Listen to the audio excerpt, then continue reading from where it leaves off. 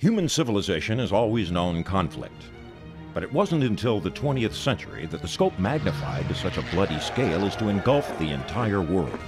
In the aftermath of the war to end all wars, Adolf Hitler and his Nazi party fanned the flames of a broken and dispirited nation, rebuilding the country from the ashes of the Versailles Treaty into a fascist juggernaut seemed unstoppable. They pushed all the way to the Atlantic in their blitzkrieg, with England their next target. But Winston Churchill small island nation won the Battle of Britain, holding out through Hitler's terror bombing for an entire year. They stoked the fires of freedom long enough to stay alive and to save the world. After Pearl Harbor, the United States, with all its military and industrial muscle, entered the war. First Africa, then Italy, and then finally Fortress Europe itself. You, soldier, are a part of this great crusade. Are you ready to rise above and beyond the call of duty?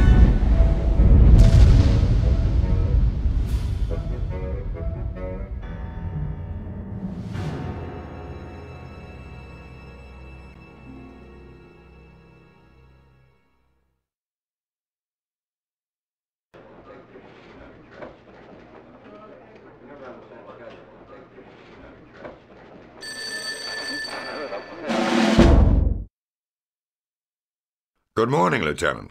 I'm Colonel Hargrove from the Office of Strategic Services. I'll get right to the point.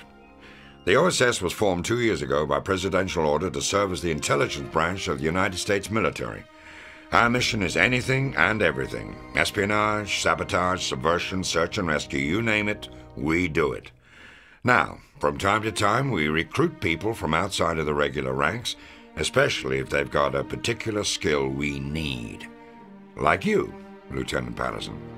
What you did last Monday got our attention. I know you consider yourself just another anonymous pilot in the Transport Corps, but taking out a half a dozen of the Wehrmacht and then sneaking back into friendly territory is quite an impressive feat of soldiering by anyone's measure. I had your records from basic and OCS pulled. Your instructors gave you high marks for weapons and munitions training. You were the top marksman in your class, excellent leadership skills, noted for being especially smart and resourceful. I also had your university transcript pulled. You were just one semester away from getting your aerospace engineering degree before you enlisted. You had earned straight A's from start to finish. In short, Lieutenant, you're just the kind of man we're looking for. But it's completely up to you whether you want to join us or not. Unfortunately, there's not much time to make a decision, so if the answer is yes, You'll be on a plane within the hour heading back to France. If it's no, you'll be ordered to forget we ever had this conversation. So, Lieutenant Patterson, what will it be?